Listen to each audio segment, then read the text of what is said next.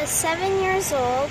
We were at a friend's house, and I saw this commercial on TV, and it was it was called Earth Rangers. I asked my mom why why I couldn't be an Earth Ranger, which is to protect endangered species. So she she put me onto the Earth Rangers website, and I began raising money for. First of all, it was the polar, polar bears, and I had an Earth Rangers birthday party, which was instead of presents, you asked for donations for the animal. That year, I ended up raising $363.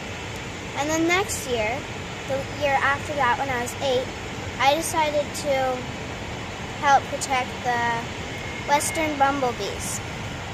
And I raised $1,010 because I had an Earth Rangers birthday party as well as I made cards and I sold them for I think a dollar each.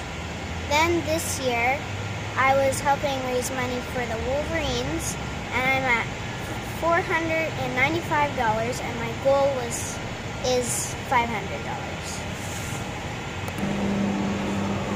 I raised my $400 and $1,000 and $365 um, by, I asked, I put a video online, or on Facebook, I guess, and people started donating because they saw the cause of what I was doing it for. So they started donating to my website, and that's how I got partway to my goal.